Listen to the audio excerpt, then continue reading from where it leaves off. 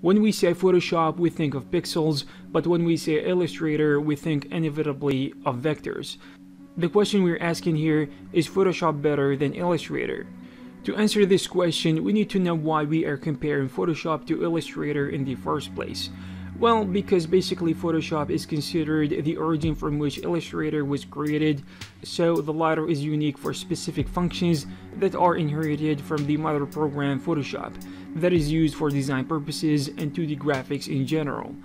Also to make Illustrator special, Adobe has developed it in a way specifically catered to designers by providing a set of features and tools to create logos and designs for all different purposes. And some of those tools and features you will not find in Photoshop, especially working with vectors. And of course, Illustrator is used to work on different design documents when it comes to dealing with vectors. This allows us to save images while maintaining quality, especially when the design is needed to be larger in certain situations without a decrease in its quality.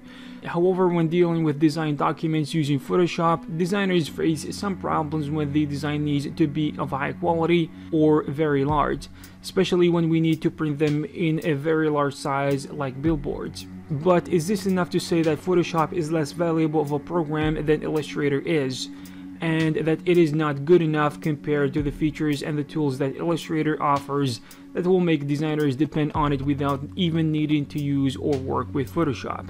Of course not. Despite of the strength of Illustrator, Photoshop contains many features that Illustrator does not have, which makes it better at a lot more things and it is able to be used smoothly and perform better in many different fields of design and 2D digital graphics like photo editing and manipulation, web design, logo design, and so on. Generally speaking, we can say that each program has features that can make it strong on one hand, but the absence of some of the other features does not make it weak at all.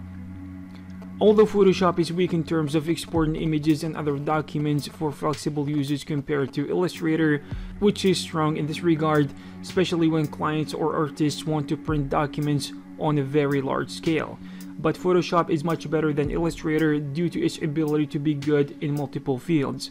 Working using Photoshop actually gives artists the ability to work flexibly and even expand the domains they specialized in using the same program, which will increase the opportunities for work, especially when it comes to freelance and opportunities of employment and finding work in general.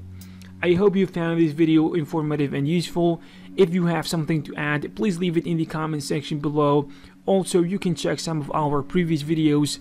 Thank you very much and I will see you in the next one.